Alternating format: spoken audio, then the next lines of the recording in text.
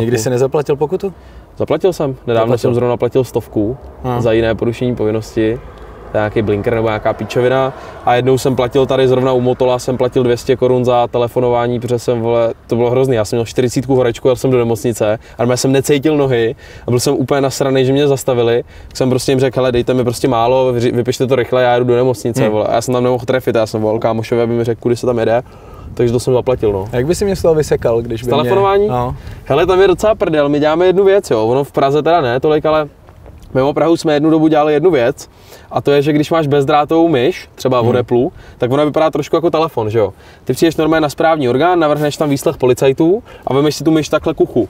A zeptáš se ho telefonu a on řekne ano. A ty mu řekneš, no jo, ty debile, jenom že tady je myš, vole, jak můžu telefonovat z myši.